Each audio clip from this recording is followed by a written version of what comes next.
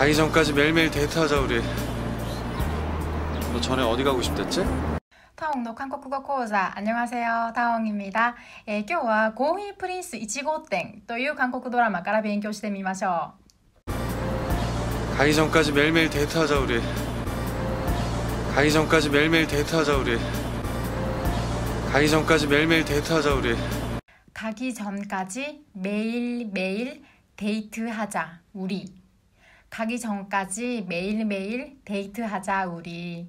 はい、意味は、가기 전까지 行く前に、どこかに行くんですよね。行く前に、えー、メールメール、毎日毎日、デートしよう、デート하자、デートしよう、売り、私たち。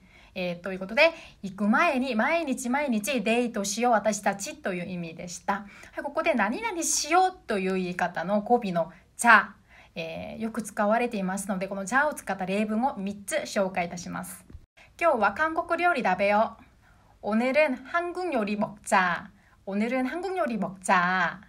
一緒に大掃除しよう。같이대청소하자。같이대청소하자。明日は図書館で一緒に勉強しよう。내일은도서관에서같이공부하자。내일은도서관에서같이공부하자。 너 전에 어디 가고 싶댔지? 너 전에 어디 가고 싶댔지? 너 전에 어디 가고 싶댔지?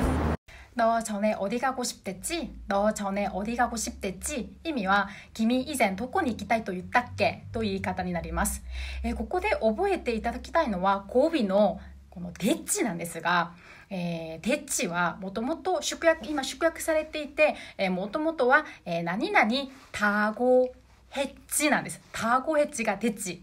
タゴヘッチがテッチに縮約されています。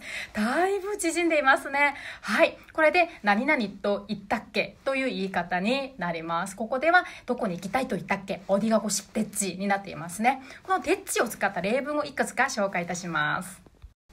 今日夕ご飯何食べたいと言ったっけ오늘저녁에뭐먹고싶댔지오늘저녁에뭐먹고싶댔지何が必要だと言ったっけ뭐가 필요하댔지 뭐가 필요하댔지 友達が韓国からいつ来ると言ったっけ친구가 한국에서 언제 온댔지 친구가 한국에서 언제 온댔지 가기 전까지 매일매일 데이트하자 우리 너 전에 어디 가고 싶댔지?